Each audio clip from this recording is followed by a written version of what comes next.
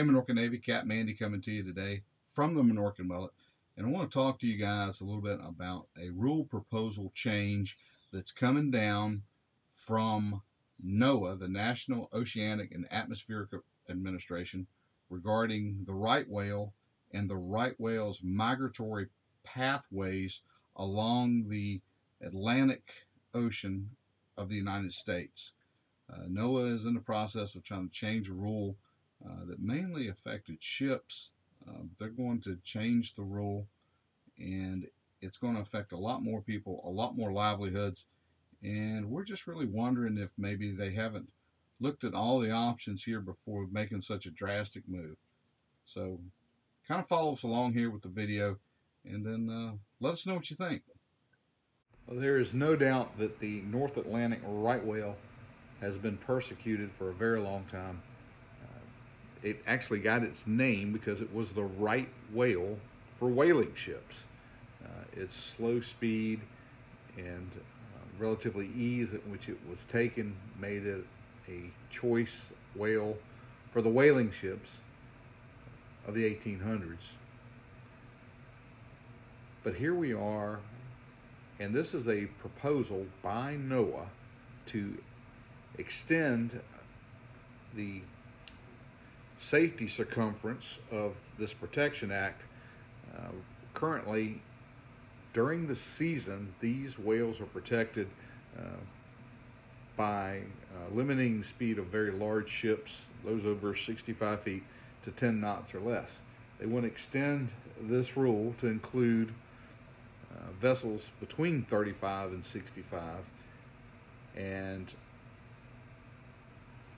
make that rule that in these zones, the speed limit is set, and NOAA will enforce it through whatever means they have, maybe through drones or satellites or the AIS identification system.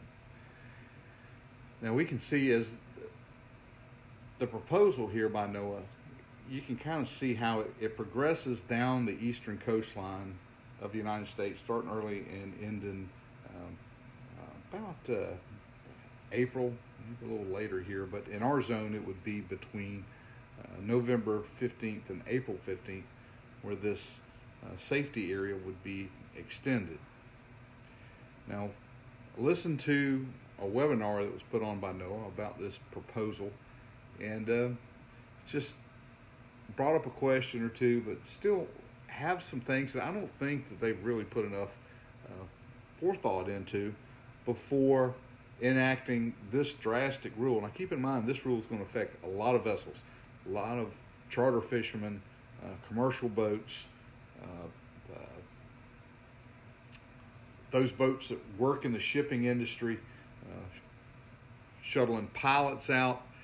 Um, this is going to be a pretty big uh, area that's going to that's going to impact, and it's going to impact a lot of these vessels in, in probably a, a not so good way. But are there some other ways that maybe we can uh, move forward to give the right whales protection they need so that we can see their numbers rebound without these drastic measures that are being proposed? Now, mortality causes in the right whale come in uh, several different ways by the hands of human beings. Uh, one is entanglement through uh, vertical line fishing, uh, fish pots, crab pots, um, uh, those kind of things. Fishing techniques that have a weighted uh, object at the bottom and a rope that goes to the surface on a buoy. Those are uh, certainly issues, and I'm sure many of you have seen uh, entanglement issues with uh, whales dragging along ropes and buoys and probably fishing gear. That is a big concern, no doubt. Uh, second one is uh, uh, by prop strikes when propellers uh, hit the flesh of a whale at the surface and cause damage to the whale in a traumatic way. And uh, another way is by blunt force trauma from the mass of a vessel striking a whale and causing damage to uh, internal organs or to the uh, brain or, or, bone structure of the of the whale.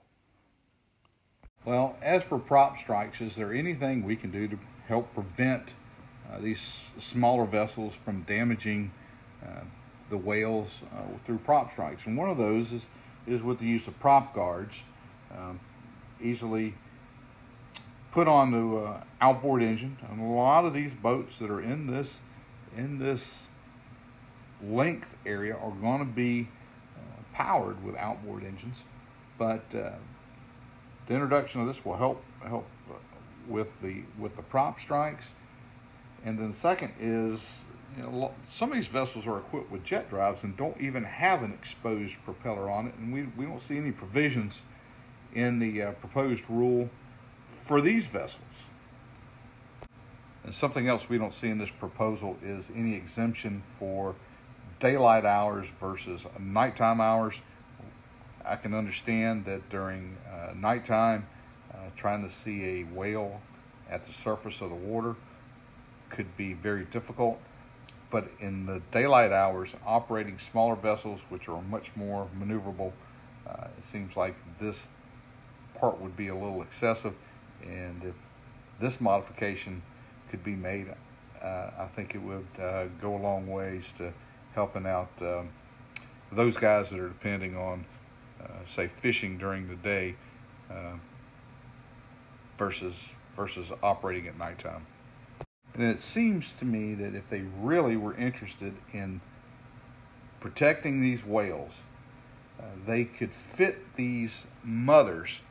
And now I think we're only talking about 25% of the population that is of calving age that can have a baby whale. 25%. And they say there's uh, 400 right whales left in the ocean. So we're talking about a hundred animals that we couldn't put some sort of transponder system on and connect it with the AIS identification system that's already in place on ships and these other vessels, and you would completely eliminate the operation of these vessels around these around these whales. Um, it seems like that system would go farther than anything else to help protect the North Atlantic right whale.